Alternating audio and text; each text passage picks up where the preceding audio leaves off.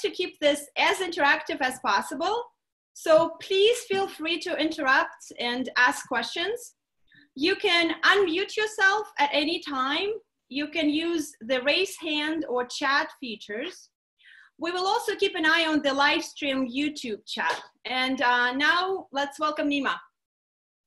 All right. Well, thank you so much, uh, uh, uh Nastia and uh, uh, the um, Zoomplitudes organizers for putting this together. I'm, I'm thrilled to be able to do it. Um, and again, as Nastia said, please feel free to unmute, ask questions as we're going along.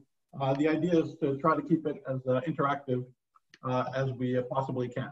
So um, I'm going to be talking about some very basic physics, basic to fundamental physics. Um, uh, the physical processes we'll be talking about are the scattering of elementary particles. Uh, and this physics is deeply tied to the fundamental principles of uh, the laws that we understand govern uh, space-time and quantum mechanics. And over the last 30, 20, 10 years, um, we've been seeing that there is something deeper behind this very basic physics. Uh, uh, there's some uh, remarkable, magical, hidden things behind something as simple as electrons and photons banging into each other, or quarks and gluons, or gravitons banging into each other. Uh, and that has exposed a, a, kind of remarkable and very unexpected connection between this very basic physics and some remarkably deep and beautiful uh, new structures in mathematics that have also just been accidentally, so it appears, run into by mathematicians at roughly the same times uh, as we've been seeing them in, in physics. Uh, and so there's been a lot of very interesting activity over the last uh, five, ten years or so uh, with uh, physicists and mathematicians actually sort of working hand in hand in order to try to more deeply understand uh, what is going on here. So um, that's the sort of broad topic of these uh, lectures. Um, the, uh, the kind of ideas in, in, in, mathematics that this very basic physics of space-time and quantum mechanics seems to be related to, and uh, perhaps even uh, these mathematical structures uh, might be hinting at a, deep, at a deeper origin to these uh, fundamental ideas of space-time and quantum mechanics, have to do with various notions that I'm broadly characterizing as the ideas of total positivity or positive geometries and of cluster algebras. And um, anyway, that's what I'll be uh, talking about. Now, I will not be um, giving systematic references um, uh, through these uh, lectures. They're meant to be like summer school lectures, so they're meant to be uh, informal. Um, but I'll be uh, remiss if I didn't at least mention the many wonderful collaborators that I've had uh, in this business. The work that I'm talking about, the sort of recent, the most recent work um, that we'll that we'll get to towards the end of these lectures, um, has been in uh, collaboration over the past couple years with Song He, uh, Thomas Lam, Hugh Thomas, Mark Spradlin, uh, work in progress with Giulio Salvatori, Hadleigh Frost, and uh, Pierre-Guy Plamondon, and building on um, uh, recent work also with Yuntao Bai and Gongwang Yan. Um, uh, the broad set of ideas going back a decade or so have been, um, I've had really wonderful collaborators that, that, have been working on, like Jara Trnka, Jake Bourjaily, Paolo Benincasa, Simon Caron-Huot, Cliff Cheung, and Jared Kaplan. the mathematicians Sasha Goncharov and Alex Postnikov have been amazing collaborators and I've learned enormous amounts from them. And a really special thanks goes to Freddie Cachazo, who taught me everything I know about this subject and has been a wonderful collaborator ever since teaching me. Uh, and also Andrew Hodges, whose amazing, deep, or brilliant ideas are sort of uh, uh, inspired a huge amount of the kind of ideas that I'll be uh, talking about. All right, now this is going to be again like summer school lectures. I will uh, I will write on the uh, tablet the best we can do for an analog of a blackboard. Um, but I thought I would just begin with slides just to give the, uh, uh, to, just a set of context and some general motivation for what is, uh, for what's uh, going on here. Uh, so uh, we've known for many, many years, um, really maybe going back 50 years, that there's, that because of gravity and quantum mechanics, the notions of space-time have got to eventually break down. Um, we can't give any operational meaning to probing distances and times that are comparable to the Planck length, for example, because any attempt to, to do such a probing produces a black hole instead that uh, makes it impossible to sort of probe what, what we're trying to see. And um, relatedly, and maybe more deeply, it was already appreciated in the 1960s, uh, at least by the people who thought about it deeply, that when you have gravity and quantum mechanics, at least the only obvious quantum mechanical observables that you can talk about are anchored to the boundary of space-time and not, uh, and can't, and so you can't make any very precise, arbitrarily infinitely precise um, uh, measurements or observations, uh, can't talk about observables in the interior of space-time because of the inevitable fluctuations associated with, uh, with both gravity and quantum mechanics. And so a little over 20 years ago, we have this amazing uh, correspondence that gives us the first very concrete idea for how we can see the ideas of space emerging from more primitive ingredients um, in the context of anti-de Sitter space. So we imagine uh, if we imagine that the world is the inside of an anti-de Sitter space tin can, then the kind of observables that we're allowed to talk about on the boundary or to ping things on the boundary of this tin can, send excitations into the interior that bang into each other and come back out in some way. So the kind of observations we're allowed to talk about are measurements that are done uh, on the walls of this tin can. Um, and uh, a little over 20 years ago, um, uh, we started to understand, and people are understanding more and more, it's an, an, an incredible thing, that uh, in fact, uh, the entire inside of the tin can is sort of a hologram. That uh, there's a fundamentally quantum mechanical theory that just lives on the walls of this tin can, and natural quantum mechanical questions on the walls of the tin can actually give you the answers that we normally ascribe to the things propagating into the middle, banging into each other, and coming back out. So this gives us our sort of first example, in this case, of the ideas of some kind of quantum mechanical theory being more fundamental and space emerging from it, from the sort of strong dynamics of this theory, perhaps from the entanglement patterns associated with the, uh, with, the, uh, with the strong interactions of these quantum mechanical systems and so on. Very important thing in this picture is that time is left alone. Time does not emerge. Space emerges, but time emerges for the simple reason that the time that flows in the interior of the tin can is the same as the time that flows on the outside. So, uh, so this is an, an equivalence between two physical systems that have ordinary words to describe them. They're both ordinary quantum mechanical systems.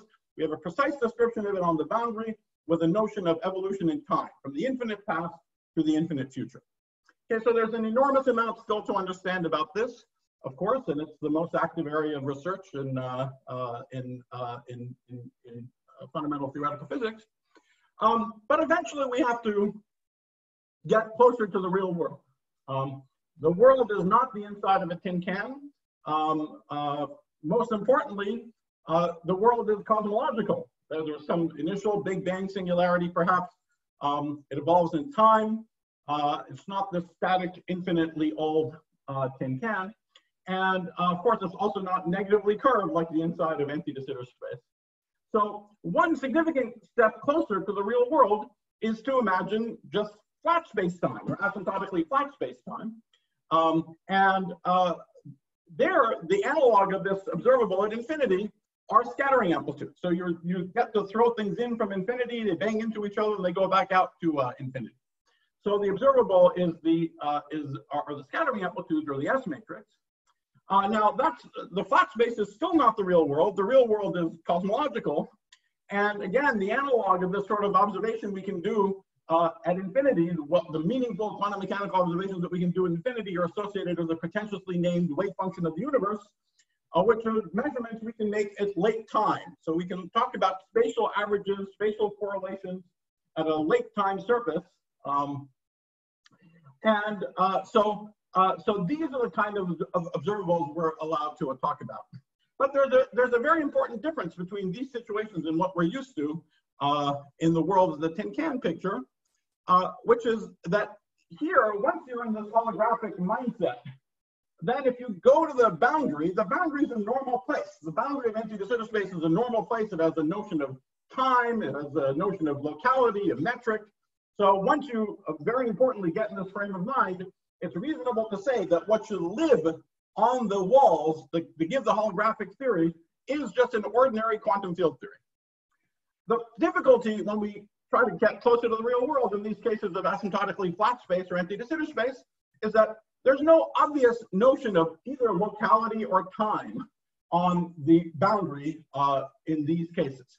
For example, the most obvious geometric notion of the boundary in flat space would be what you see around you. What you see around you is the celestial sphere. And so you can imagine that there's some theory that lives on the celestial sphere. Uh, but the, the difficulty is there's no obvious notion of locality on the celestial sphere. In fact, sort of particles would come in, poking in from the celestial sphere at infinity, and they sort of magically at infinite time go out at very different points. There's no obvious notion of locality. There's no very uh, standard notion of time. Um, and so we don't know what to do there. Uh, I'm going to come back to this uh, point uh, a number of times. Uh, we're going to talk about what our canvas is, the, the, place where we have to live in order to find a theory. Um, and uh, that'll make it clear what the sort of challenge is. Um, uh, anyway, there's an analogous problem even worse when we talk about cosmology. There, there, the, the sort of place where the, the observation lives doesn't even have a time. It's just spatial, nothing else. So uh, I think, and this is a speculation, but it's a speculation that certainly guided my own thinking for the past decade, that it's likely that we might need to see something even more radical. Not that quantum mechanics is king and space emerges from it, which, which of course we've seen in the context of the gauge gravity correspondence, but that we have to see some other ideas, some question mark, some, some more abstract uh, ideas and principles, out of which quantum mechanics and not just space, but space-time will actually both emerge. And will emerge in a way where they're sort of tied together, uh, inseparable, hand in hand. Um, we're going to see examples of this phenomenon very concretely. This is all very airy, fairy and, uh, philosophical right now, but we're going to see uh, baby examples of this phenomenon quite concretely in these uh, lectures. So uh, let me uh, put you in the frame of mind that we're going to be in for the rest of these uh, lectures. So let's imagine now we're going to talk about the physics of uh, scattering processes. So imagine, uh, uh, imagine that you're an experimentalist. Um, you throw some particles in from infinity, they bang into each other, they go back out to infinity.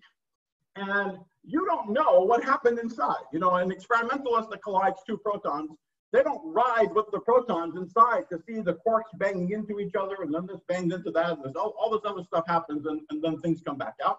All they see is that things get thrown in from infinity and they go back out to infinity.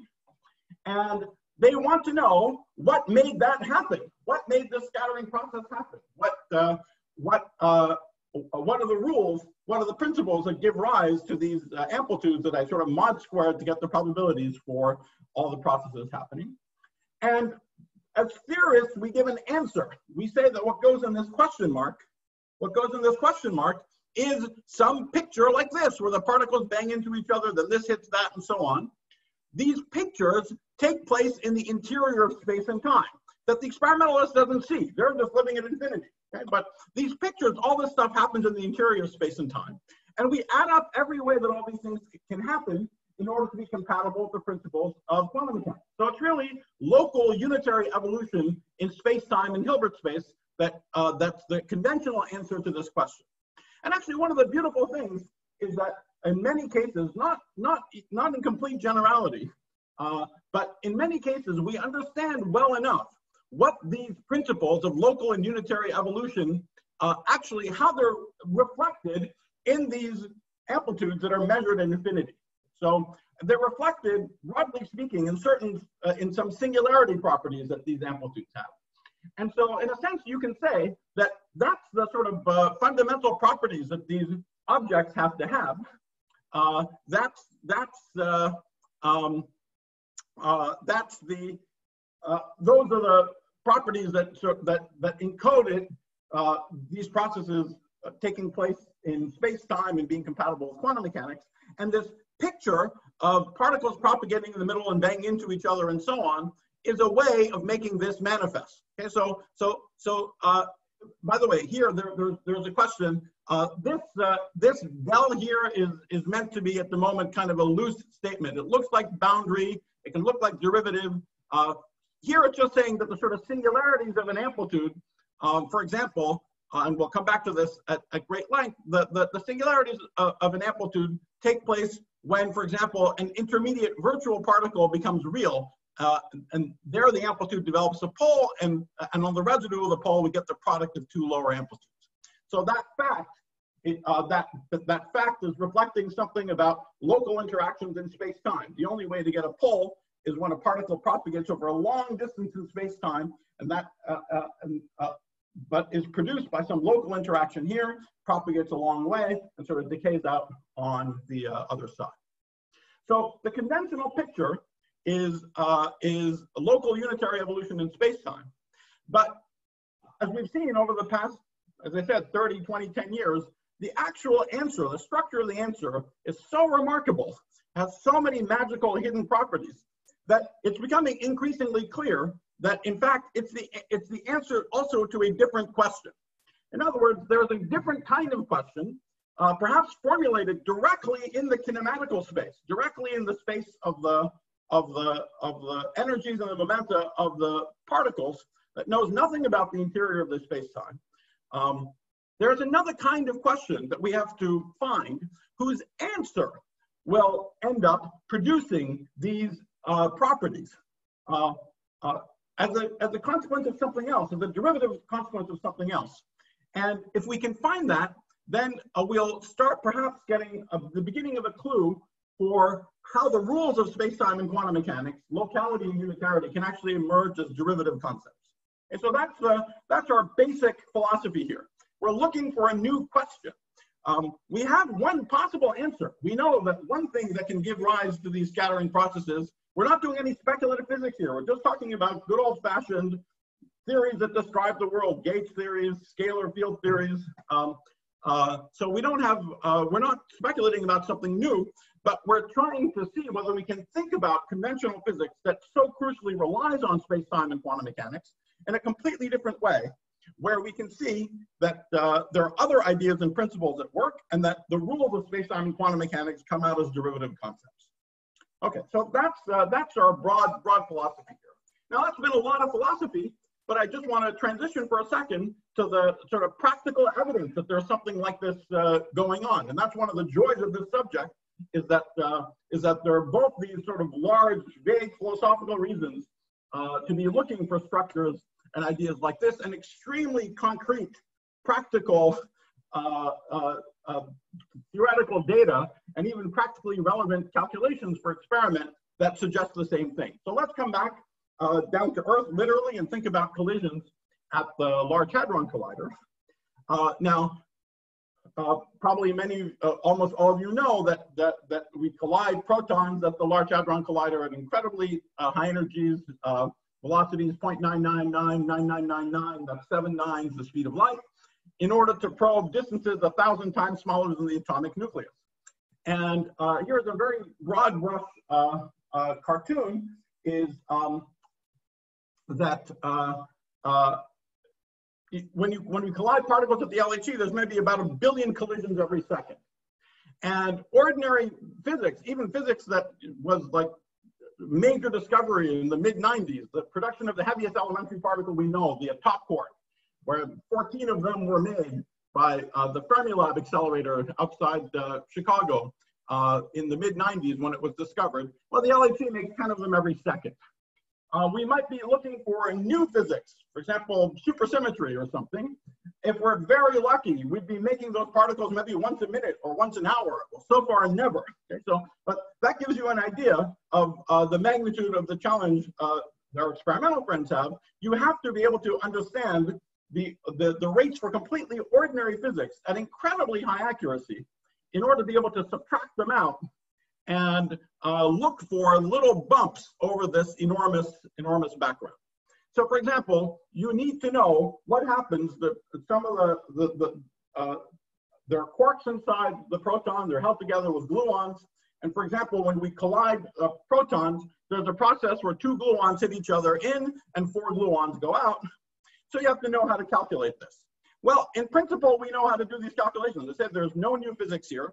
This is a picture that we got from, from uh, Feynman and friends uh, uh, over 60 years ago. And what we're supposed to do is imagine every possible way this process happens. Uh, and uh, draw these little uh, space-time pictures for them with precise rules for what, this, what happens at each one of these interaction vertices. each one of these pictures is supposed to correspond to some particular process in space-time, and we're supposed to add all of them up in order to be compatible with quantum mechanics and find this picture for how to think about quantum mechanics as sort of summing over all the possible, uh, possible histories in which some possible process could have taken place. And even if we restrict uh, to the simplest possible processes, uh, these are the so-called tree processes where there's no even uh, internal loops in them, uh, these turn out to be the leading, uh, give us the leading answer for these, for these processes. Well, there's lots of them. There's lots and lots of them. There's an, there's an explosion in both the number of diagrams and the number of terms. And this is what the, the actual answer looks like from a brute force calculation. If you just open up the textbook and copy out the rules, you get hundreds of pages of horrible algebra. And it's not illuminating at all.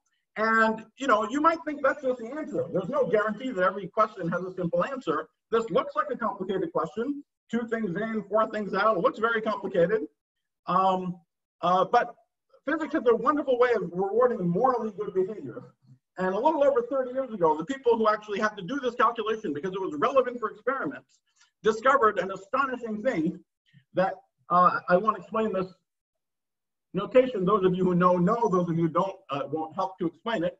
But, um, but it turns out that, uh, that the amplitude, for example, for some very simple cases, uh, let's say when all the helicities of the gluons, so the gluons have spin they have a spin in the direction they move. If all the helicities are the same, or all but one are the same, the amplitude is actually zero. And if two of them have one helicity, let's say negative helicity, and the other ones have positive helicity, these hundreds and hundreds of pages of algebra collapse to a single line, a single term even. Um, so this is absolutely amazing. Uh, back then, it was not recognized uh, immediately as a sort of tip of an enormous iceberg. Today, we know it's the tip of an enormous iceberg. And it makes it clear that Feynman's way of doing this physics, which is the whole point of which is to make the usual rules of space-time and quantum mechanics as manifest as possible, is correct, is obviously correct. But it's also obviously hiding something, that there's some other structure, some other ideas that would immediately give us this answer, and maybe if we knew what those structures and ideas are, we could reverse engineer it and understand why they could also be represented in Feynman's way that makes space-time and quantum mechanics obvious. So, so you see, we've gone from this airy-fairy philosophy down to something very specific, um, where we, we try to understand where the hidden simplicity um, in these uh, uh, remarkable, uh, uh in these fascinating objects comes from. Um, and, uh, and uh, try to understand what principles gives rise to these incredibly simple expressions uh, and, and understand other symmetries. We'll come to some of those things in, in, in a moment. Um, and uh, hopefully not just learn how to calculate them instead of going through thousands of pages of algebra, but also understand what the new principles and ideas are behind them um, in, order to uh, perhaps get uh, the beginning of a sense for where the rules of space-time and quantum mechanics might come from more primitively. Okay. So in fact, it's not, in this case of the scattering of gluons, it's not just that um, the answer is extremely simple, that a thousand pages boils down to a, a single term. Um, it's that the answer turns out, uh, um, people recognized around 15 years ago, it turns out to have an amazing hidden symmetry. Um, so uh, I can illustrate the uh, symmetry if you think about the gluons as, as carrying momenta. P1, P2, up to P6 in this example. These are, uh, these are four-dimensional uh, space-time momenta, energies of momenta. A momentum conservation tells you that the momenta of all these particles add up to zero. Um, and so I can represent the momenta on this sort of, a, in, in this sort of four-dimensional polygon. So here is momentum P1, P2, P3. So you see all the momenta add up to zero. That just tells you that you have this uh, closed polygon. All right, so that's just the representation for what the sort of data of the scattering process looks like, what these momenta look like. But the remarkable observation is that the amplitudes have a, uh, have a symmetry under reflecting these coordinates, the coordinates in this funny space, uh, which have units of uh, momenta, okay? So the, the vertices of this polygon. And that's a hidden symmetry. You don't see it. Any given Feynman diagram doesn't see that symmetry at all. It's just the property of the full answer. And in fact, that symmetry, uh, suitably elevated, uh, is known as dual conformal invariance. And uh, when you you further extend it, that's, that's true at the leading level, the tree level of interactions, that's true for ordinary gluons. If we talk also, if we also include loops, there's the uh, supersymmetric cousin of the theory of gluons, the maximally supersymmetric cousin of the theory of gluons. And this symmetry and the ordinary symmetries combine into this fancy, amazing, infinite symmetry known as the Yangian, uh, technically the Yangian of SL4 slash 4. But I want to stress that this is a symmetry that could have, in principle, people knew where to look. It could have been seen in 1955, but it was not seen until the late 2000, uh, until the, until late in the last uh, decade.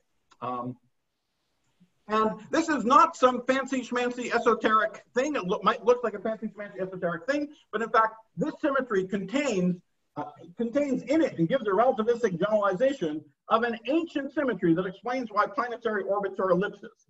So you know if you solve the Kepler problem, that it's a little bit of a miracle that you can analytically solve it and, for example, find that the orbits are ellipses. And that's because uh, there's a hidden symmetry associated with the Runge-Lenz vector. Uh, and that symmetry is in fact relativistically generalized and contained in this uh, in this uh, uh Yangian symmetry for this uh, for this problem. Okay, so um, so what so that's the that's the broad uh, context. So um, what we're going to be we're going to be looking for a question in all of these in all these lectures. Um, we want to find some question mark. What question can we ask in on in the canvas, in the space uh, of that, that labels the, the scattering process. Um, so directly in the space where the scattering process lives. No intermediate space-time, no virtual particles. That's the sort of physical idea here. We want to get rid of all of these ideas like virtual particles, only talk about the actual scattering states that you sort of measure at the infinity. Uh, and, and for the past 10 years, and really more, more intensely in the last two years or so, we're seeing the nature at least one nature of an answer to this, uh, uh, one nature of the question that could go on this question mark that involves these notions that I'll be talking about of, uh, of very primitive, basic combinatorial ideas, geometric ideas associated with this word positive geometries, all of which live in the kinematic space of the uh, scattering process. Okay, so um, now we're going to spend a little bit of time talking about this canvas in uh, detail, but uh, so this is this is where the amplitudes live. So where, where are the various canvases? So for example, we could just talk about the physical momenta of the particle. Let's say we have massless particles. We could talk about a, a n massless particle scattering. I just have the n. I just have n null momenta. Okay, so that's the that's the space where the amplitudes live. Um, uh, uh, as we said, we could talk about the celestial sphere. We could talk about twistor variables. Um, if we're talking about cosmology, we're talking about the spatial future. I won't be talking about cosmology in these lectures, but all of these things are just different ways with different emphases of talking about the space directly where the amplitudes live. Either physical momenta, twistor, the celestial sphere, they're all just different ways of thinking broadly of the sort of boundary of Minkowski space the, that, uh, that, that, that labels the actual asymptotic states that participate in the scattering process. And so that's our challenge. So that's the space. Unlike an anti-de Sitter space where it's a normal place, the boundary is a normal place with a notion of a metric and time and locality and so on. Not so here. So what ideas uh, breathe physics life into this space? That's, that's the question we're going to be asking. So given this sort of canvas, what kind of question can we ask? And again, uh, we're going to see in this, really in this kinematical space, um, the emerging picture is that there are combinatorial ideas uh, associated with these ideas of positive geometry, uh, canonical forms, all of these things we'll talk about in more detail. Um, uh, uh and uh, so far, they have been relevant for questions of gluon scattering um, and, and its maximally supersymmetric extension. That's the story of the amplituhedron. over the past couple years, uh, we've seen that, that, that, that essentially uh, philosophically identical ideas now show up in completely non-supersymmetric theories, no hint of any kind of, uh, of the standard magic that we might blame these things on, like supersymmetry or integrability. Or the, these are just seemingly totally boring theories, just scalar field theories. Um, but there are these ideas that go along with them. There are in fact hidden symmetries associated with them uh, which are exposed by these uh, geometries. We'll be talking about that quite a bit. That's associated with these ideas of associahedra, uh, cluster algebra, polytopes, and so on. And in the uh, context of cosmology, very baby steps in this direction have been taken um, with the ideas of things that are called cosmological polytopes. but I want to stress that all of this stuff describes the real world in some reasonable approximation. So this is not some esoterica that is nothing, you, you know, that maybe you can imagine in 10 steps would have something to do with the real world. All of these, in some approximation, actually describe the real world. And, uh, and to me, the sort of delight and magic of this subject is exactly that, that there are hidden symmetries, remarkable new mathematical structures, um, uh, and a huge magic that's uh, sitting there in ordinary physics just right under our, our noses. Um, and uh, so that's what I want to be uh, telling you about more today. Sorry, um, so just a quick question. Uh, does the symmetry also rise in presence of masses or you always in the massless case? Uh, well, in the story of the scalar field theory, it could be massive as well. Mass is not is not a big deal in that case. Uh, I'll I'll I'll say that it's massless, but in the scalar case, you can add a mass without a problem. Thanks. All right. Sorry, okay, and so, Yes. Uh, excuse me. A naive question. So here you you're talking about uh, the, uh, the, the particles which had uh, uh, a definitive momenta.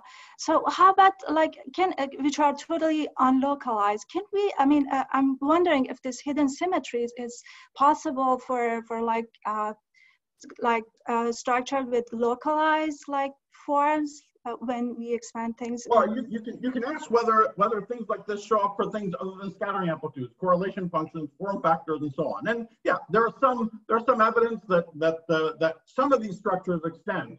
Um, but uh, uh, but for various reasons, I'll just be focusing on the scattering processes today. I mean, I think that the scattering processes have a special place. A, they're the most basic observable of fundamental physics, even experimentally. And B, they have this privileged status, at least in asymptotically flat space, as being the interesting observable that we can uh, talk about. Uh, of course, there's many other things that we could talk about as well, but I'll just, we'll, we'll have our hands full just, just, just with these. Uh, any other questions?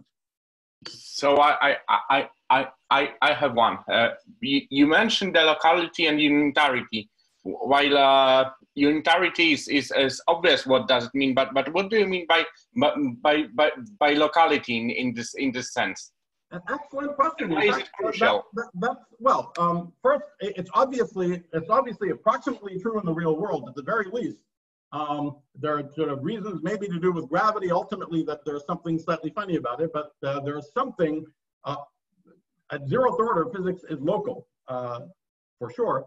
Um, and uh, uh, and that's in fact the sort of challenge because we're trying to figure out when you do this experiment, when you bang, throw things in from infinity and they, they bang into each other, they go back out to infinity, you weren't there. There's no one in the middle to know that what happened with local interactions in space-time.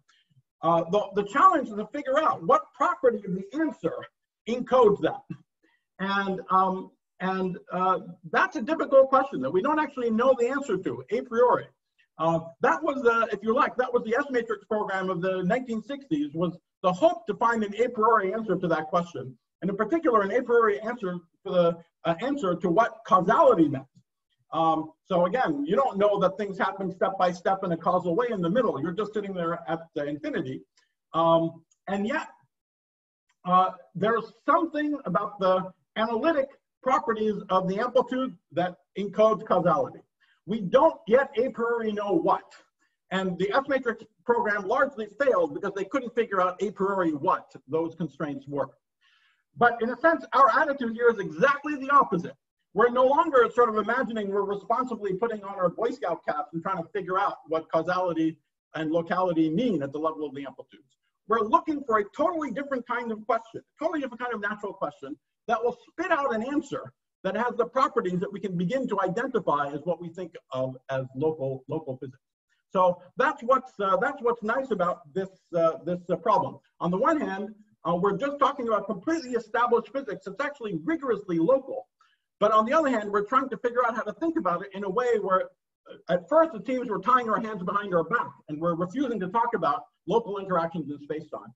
Doing that is going to expose all sorts of new structures uh, from which we can begin to read out backwards how uh, the usual rules of local space-time and, and, uh, and unitary evolution come out. And this all sounds sort of abstract right now if you haven't seen this kind of thing before, but, but I promise we'll be seeing very concrete examples of this in, this, uh, in these uh, lectures. Okay.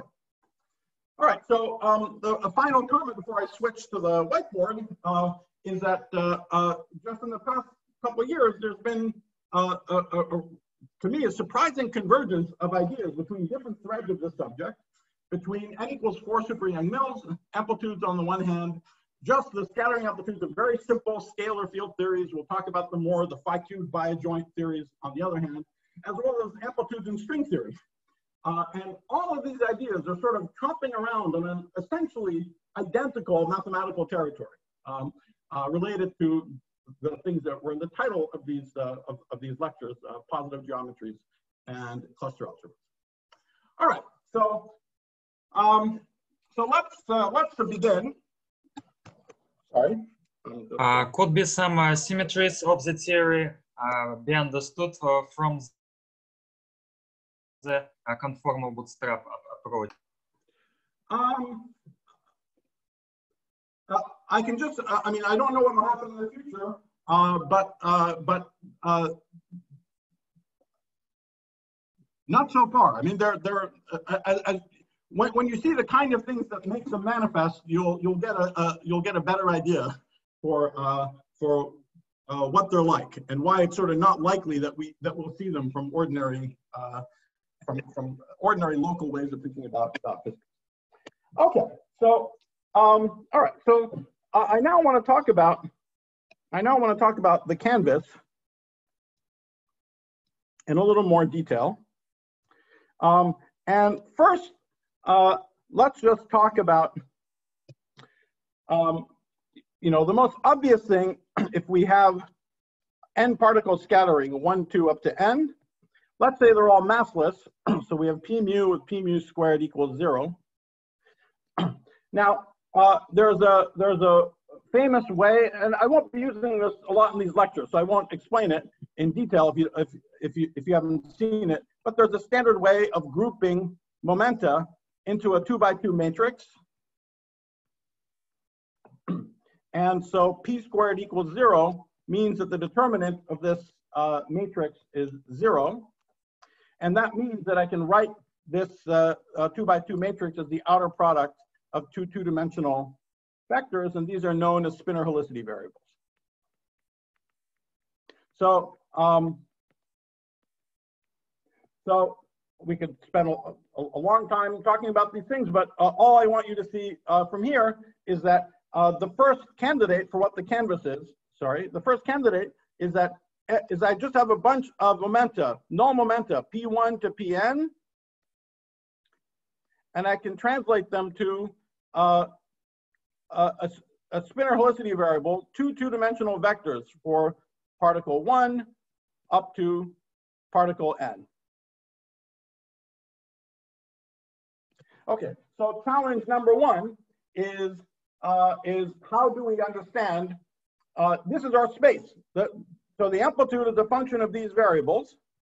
And now we want to ask, uh, in this space, what question can we ask? What question to ask in the space of n two vectors, lambda and n two vectors, lambda tilde, uh, whose answer gives me an amplitude? See, it's not so obvious what to do. Now, uh, in the study of the scattering amplitude for gluons, um, and its maximally supersymmetric extension, there's another set of variables. I won't actually describe what they are in, in detail, uh, but they're slightly simpler. They're known as momentum twistor variables. And they're just very simply algebraically related to the other guys. Okay, but I'm just giving you a survey of the kind of uh, canvas. Okay? So this is now, for each variable, we have a four vector, Z1, Z2, up to Zn. Okay, so here's a four vector. So that, that kind of makes sense. There's uh, four momenta for each particle. Uh, there's, there's naively four degrees of freedom for each particle. So here's the n four vectors. In fact, you know there aren't really four degrees of freedom, there's three, because each p squared is equal to zero. And so there's an actually, that's, uh, that, that going from four to three is reflected here in an action that of ZA under rescaling. Okay, so at zeroth order, we're supposed to actually identify uh, these things in slightly more detail. The amplitudes have a particular homogeneity under this, uh, uh, they have a particular homogeneity under this rescaling. Okay, but once again, uh, I seem to have n, th this is my canvas. I have n four momenta. What am I supposed to do with in the space of n four momenta? Uh, sorry, uh, in the space of n four vectors, what kind of question can I ask whose answer has all the richness and complexity of a scattering amplitude? Um, now, actually, in the context of uh, the scattering of gluons, we have a little bit more. The gluons uh, have a color. So here's a gluon. They also have a color index. So really, when I have the scattering of n of these guys, I have n color indices, A1 up to AN. And there's a conventional way of, uh, of uh, keeping track of the, of the colors um, by writing, but keeping a dependence on the colors by uh, pulling out factors of traces of the of, of uh, generators, let's say for SUN, if we're talking about uh, uh, gluon scattering in, in, in SUN gauge theory. Okay, so we'd have we'd have a factor that looks like trace TA1 through TAN times an amplitude that now just depends, all the color is gone. It just depends on the momenta, P1 up to Pn. And now I could order these color labels differently if I like. Okay, so in general, I would have a sum over all the permutations. I have a sum over all the permutations A sigma 1 up to A sigma n. Actually, because the trace is cyclically invariant, it's not all the permutations, the permutations uh, uh, up to cyclic shift of, of, of the more primitive object that doesn't have color anymore, only depends on these momenta and also depends on these uh, permutations. Okay, so now I have something slightly simpler. I have an amplitude that has an ordering in it, 1, 2 up to n. And it's in fact that ordering which is uh, useful to write the amplitude now as a function of these n momentum twistor variables. Okay, so in other words, it is not just that I have n four vectors. I have n four vectors. Oops, sorry. Sorry about that. I have n4 vectors with an ordering, with a natural ordering, z1 through zn. Okay. And in fact, that ordering uh, is all that it takes in order to start being able to find some, uh, some structure uh, and a question in the space of, of n four vectors with an ordering uh, to be able to uh, find a question whose answer is all the richness and complexity of the uh, amplitudes. And this is a story of the amplituhedron, or uh, the more recent understanding of the amplituhedron in kinematic space. And uh, if, if, you don't know about this, just uh, let the words wash over you for just three minutes or so. But but uh, but since this is a sort of first instantiation of some of these ideas, I want to uh, mention it. See, when you have an ordering, uh, it turns out that in these spaces you can ask uh, you can ask interesting questions. That there's interesting positive parts. There's an interesting positive part to the space of n uh, four vectors. What I mean by positive part is some configuration of these four of these four vectors that are real but where the determinant, the symbol with the bracket here means determinant, the determinant of ZA1, ZA2, ZA3, ZA4 uh, is always positive or greater than or equal to zero. Now the determinant matters because the space-time symmetries, which in, in this case just turn into, it turns out just an SL4 symmetry, four by four linear transformations acting on the Zs, okay?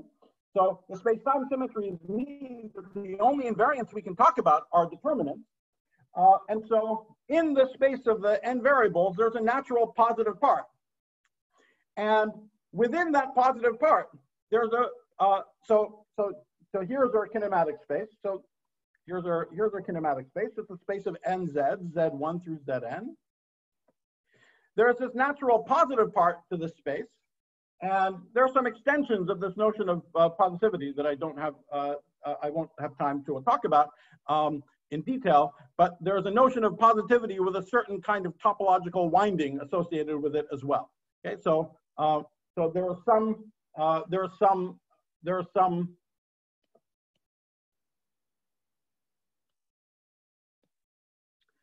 there's some positive winding region.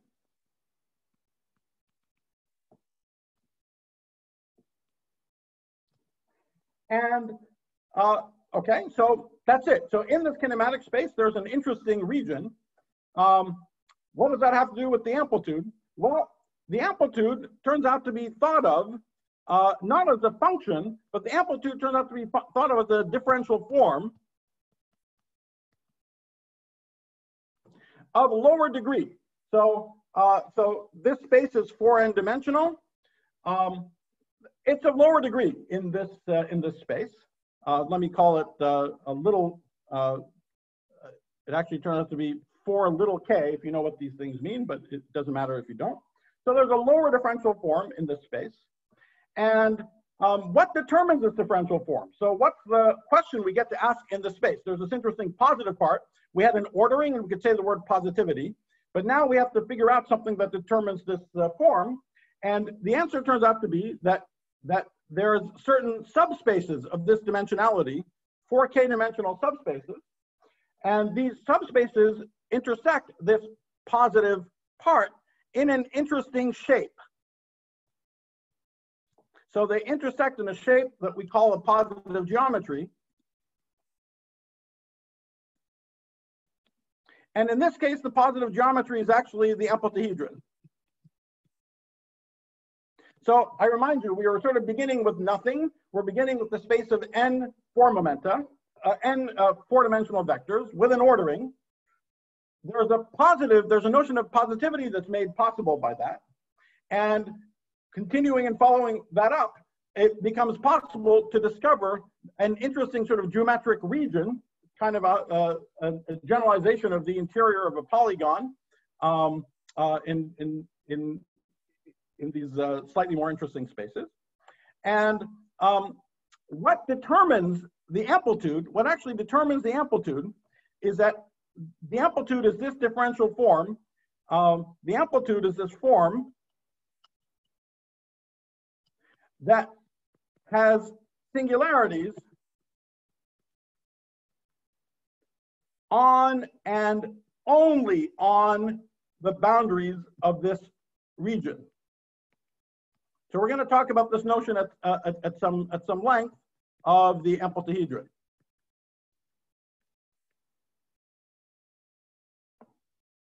Okay, but that's the that's the that's the first idea here is that um, is that in the kinematical space, you find some interesting positive region, some interesting subspaces. The intersection of the subspaces of the positive regions gives you some geometry.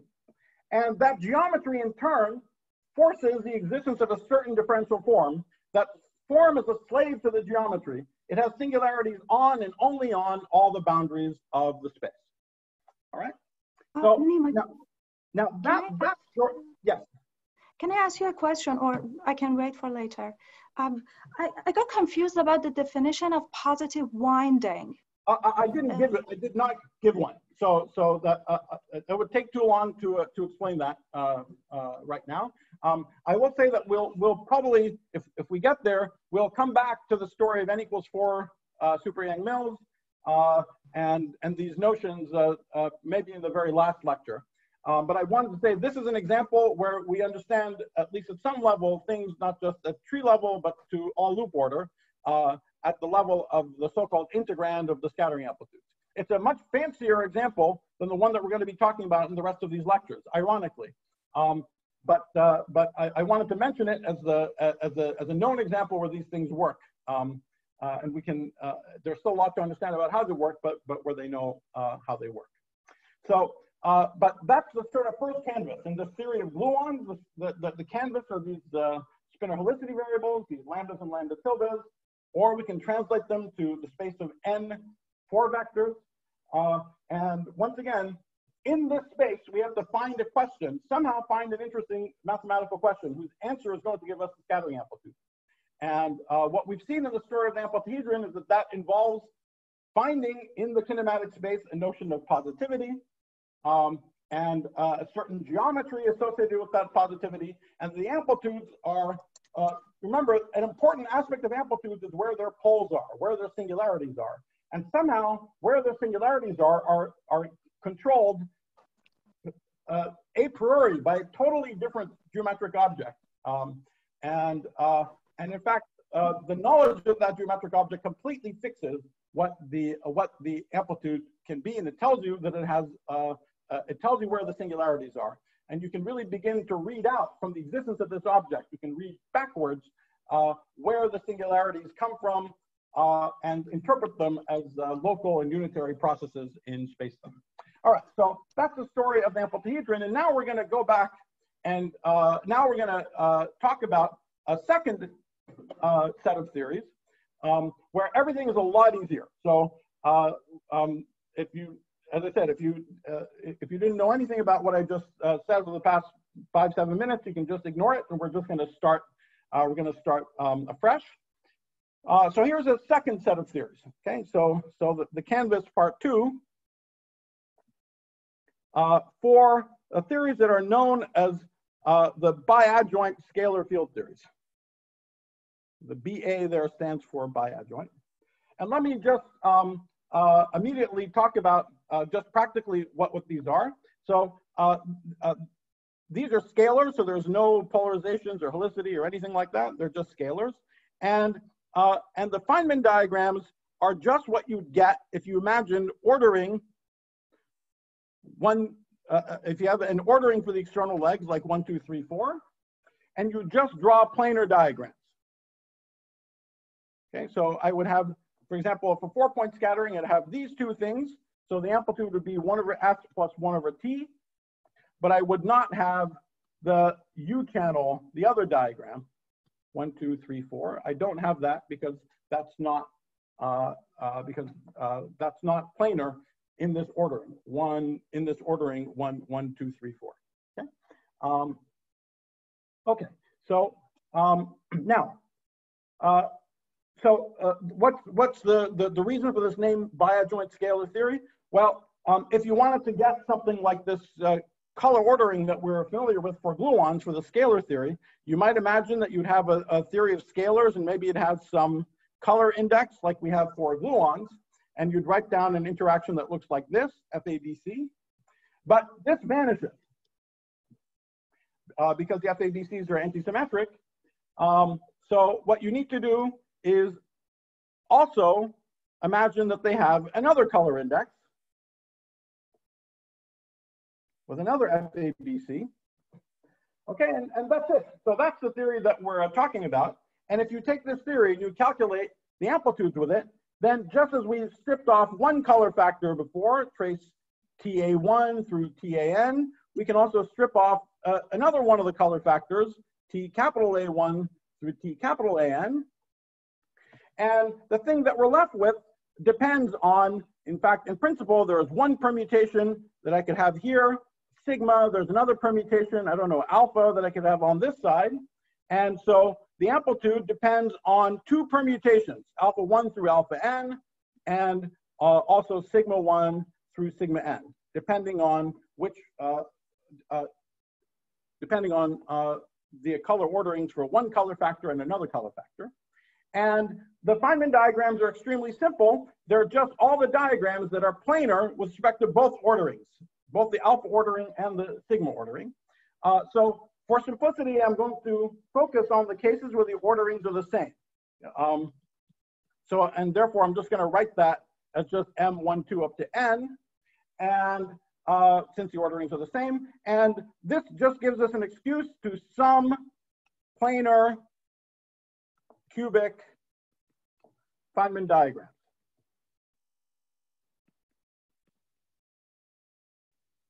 Okay, so that's the theory that we're talking about. All right, so, okay, so uh, let's, uh, uh, let's, let's keep, keep going with this, uh, uh, uh, with this kinematical canvas, how do I think about the how do I think about the variables that show up in these in these amplitudes? Um, so let's say I, I do this example again. So here, the variable that I see is um, is a propagator. The S channel propagator would be P1 plus P2 squared. Okay. Uh, in this T channel, um, the variable that I see would be P2 plus P3 squared. And let's say I do a more complicated example.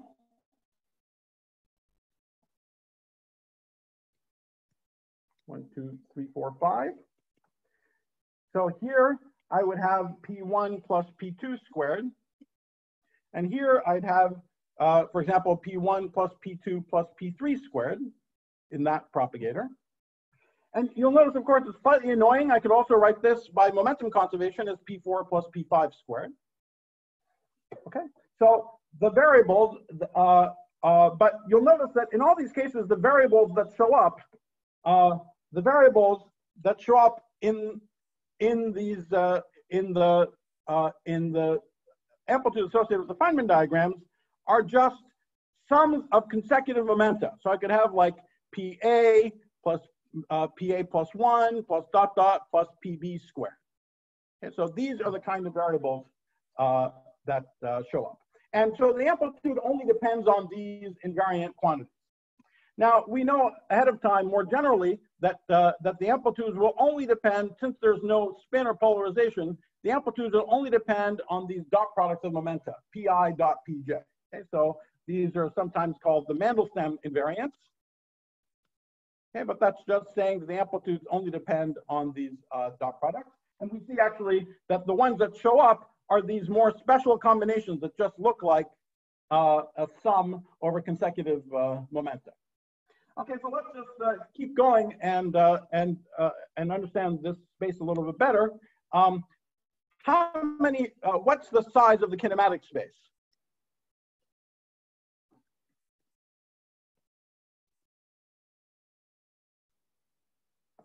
Well, we have um, we have n choose two pi dot pj's. But we also have momentum conservation. The sum of pi equals zero. And so if I dot this uh, into pj, it tells me the sum of pi dot pj is equal to zero. I, sum of i not equal to j. So remember, I'm imagining the particles are massless here, so all the pi squareds are equal to zero. Um, okay, so the actual number of independent invariants is n choose 2 minus n. Okay, so this is nn minus 3 over 2. Okay, so that's how many independent invariants we have. Now, here's a nice fact. Let's, let's uh, think again. Uh, remember, we have an ordering now, so we can draw this picture that we drew once before already. Um, if I have the momenta P1, P2 up to Pn, uh, momentum conservation tells me that they uh, that they close up into this polygon. And so it's natural to look at the distance between two points here. So if I have a point here i and a point here j, you see that the distance between them, which I'll call xij, is pi plus dot dot dot plus pj minus 1 squared. So that's kind of nice that the, that the distance between uh, two points on this polygon are exactly the variables that show up in the, uh, are exactly the variables that show up uh, in the amplitudes. Now, how many of these xij's are there? How many xij's are there? Well, notice first of all that xi i plus 1, which is just the length squared of one of these edges, xi i plus 1 is 0, and therefore the number of xij's is also n choose 2, the number, the total number of chords minus n, because all of these ones on the outside are zero. So the number of xij's is exactly equal to the number of Mandelstam invariants. Okay, so that's nice. So, so we're, we're getting a better idea for what the space is. Okay, so, so in this theory, so again, coming to this canvas, our variables, what the amplitudes depend on, oops, what the amplitudes depend on, the kinematical space is just the space of all xij. That's it. All of these n choose 2 minus n xij with xi i plus 1 equals 0. Okay, that's, that's our space. And uh, so uh, now we have to figure out what kind of question can we ask in the space of the xij's whose answer will give us the uh, amplitudes in this in this theory. Okay. Um, okay. So that's. Uh, uh, let me do one more thing, and I'll uh, and we'll stop, and I'll take the questions. Um, uh, let's just see. let's just restrict to tree level for a second.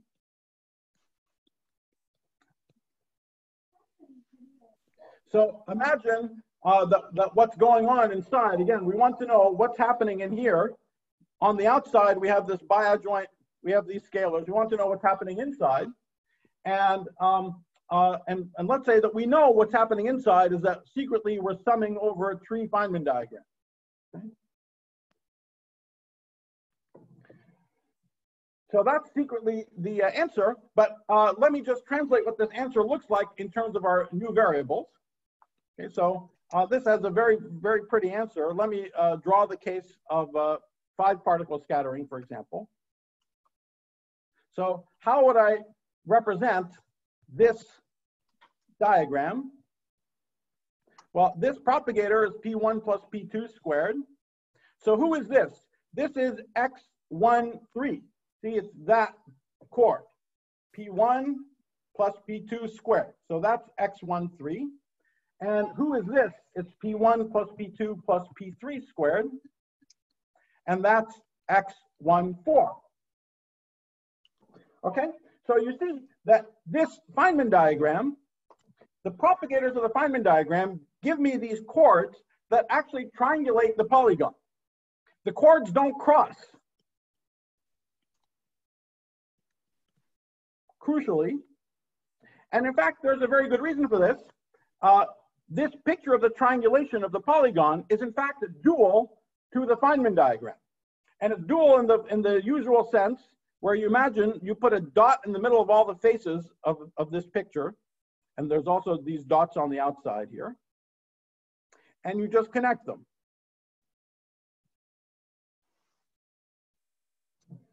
Okay, so what you can see is that triangulation of a polygon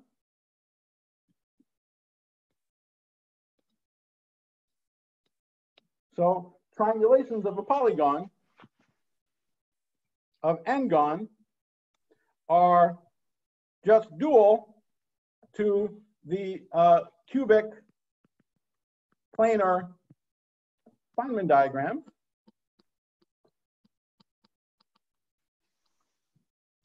And therefore, we can state our final challenge again.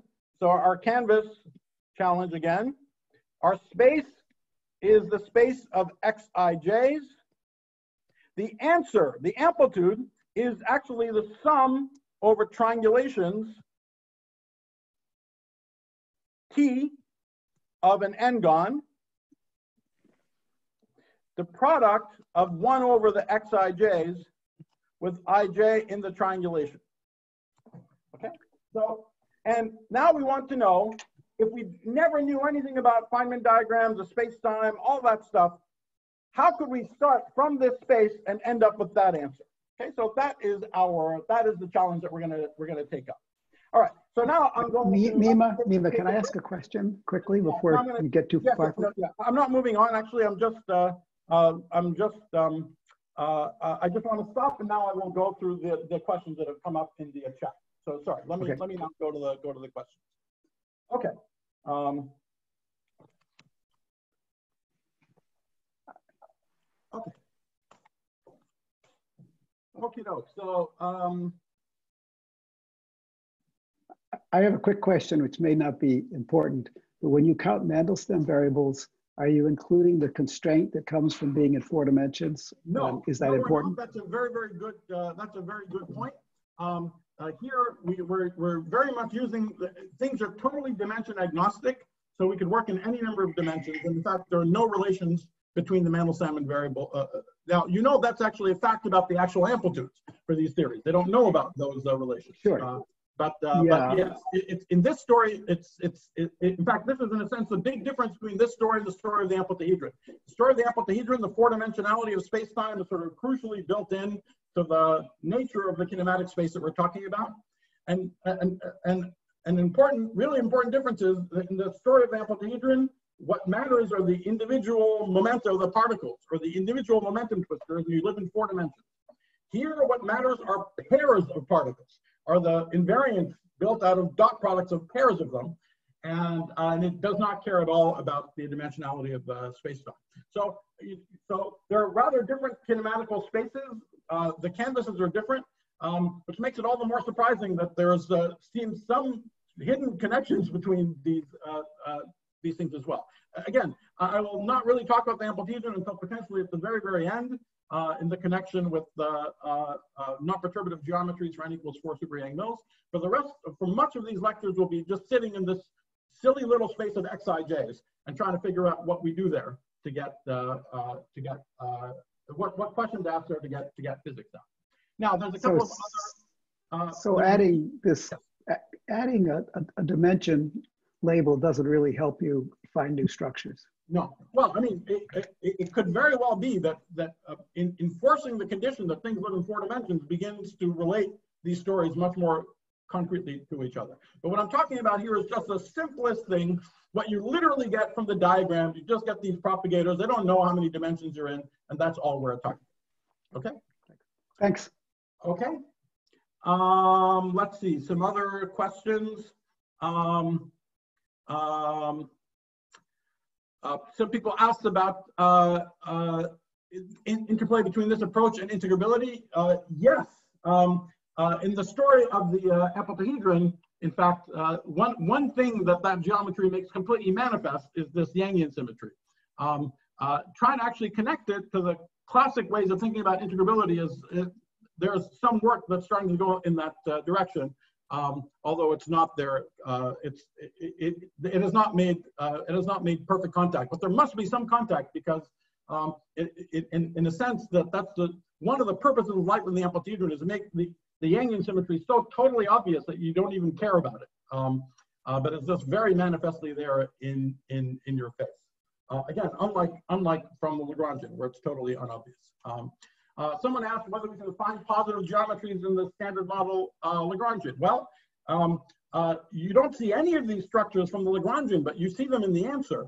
And as I said, uh, just the even at tree level, forget about loops, fancy loops and stuff like that. Just at tree level, the tree level scattering of gluons, when protons bang into each other, cosmic ray protons bang into protons in the upper atmosphere, or the LHC, whenever those gluons are banging into each other, they're seeing these structures. They're seeing exactly the physics and, and mathematics that we're talking about. So it's sitting there in good old-fashioned gauge theory, and it, it, it would sit there if you cared about Higgs-Higgs scattering um, uh, through the uh, uh, through the cubic interaction of the uh, Higgs. Um, so uh, another question is, what goes wrong if you just use ordinary adjoint scalars of the trace phi cubed interaction? You wouldn't have the same, uh, you would not have the same color structure. So you would not be able to sort of pull off exactly the same um, uh, uh, notion of uh, planarity.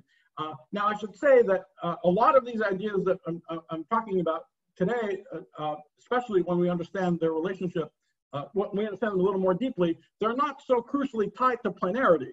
Um, they do seem to need some kind of color and some notion of ordering, but being strictly planar does not seem to be uh, crucial. But anyway, I'll be focusing on these uh, simplest uh, cases of the planar interactions just because it's easiest to talk about. Um, and um, and uh, yes, another person asked whether uh, whether the um, uh, whether the story of the triangulations being the same as um, uh, as Feynman diagrams is totally general. Yes, that, that that's totally general.